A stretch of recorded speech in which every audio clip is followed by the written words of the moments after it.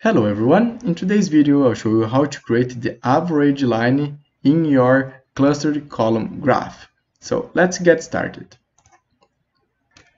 Alright, the first thing you need to do is to create an extra column in your table called average. And in this column, you can you need to input the average values. And to do that, I'll use the average function. And I have another video on my channel explaining you how to use this function. I'll press F4 to block the range. Then I'll copy and paste the values. Now we need to add this information into our chart. To do that, right click over the chart area and click on select data. Add new series, series name will be average, series value will be the range we just created. Okay, and okay, okay. Notice that Excel is using the clustered column uh, chart type as the standard to the average series. We need to switch that from this to line. And to do that, right click over the chart area and click on change chart type. This last option called combo will allow you to change the chart type for each series.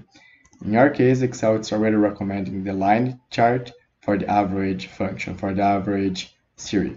If it was not here, you can select the chart that you, the chart type that you want in this arrow just besides the, the name. So it's line already, I'll click OK.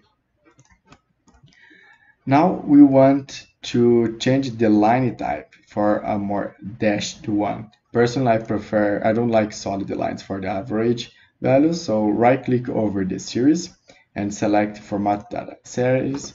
And here in this bucket called field line, under the dash type, I'll select the third option called square dot. Perfect. Now we want to add the label for the annual average. Let's say we think it is important to know the average uh, value for the year. But if you right click over the series and select add data label, Excel will add the data label for each month and we don't want that solve this problem, after you select the series, the average series, select again, click again on the dot that you want the value to be added. I like to add it in the last one. And then notice that now we have only this dot select. And then right click over it and select add data, add data label.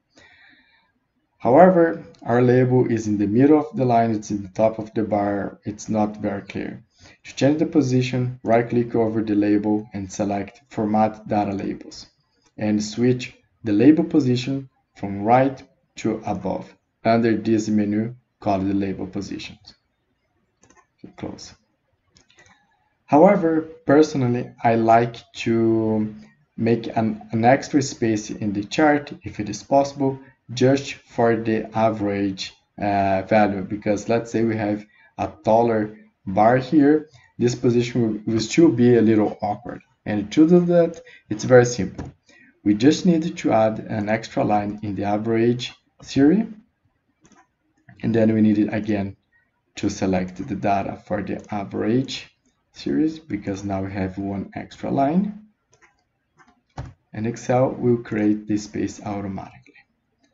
And then I create the label for this position. And then I will change the color and make a little bit bigger and maybe even bold. Okay, in here we have our average line and you can hide this column. However, when you hide this column, notice that the average line disappears.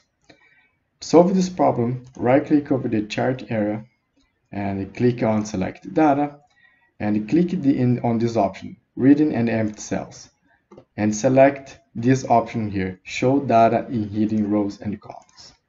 And the problem is solved. So this was our today's video. I hope you like it. I hope it was helpful for you.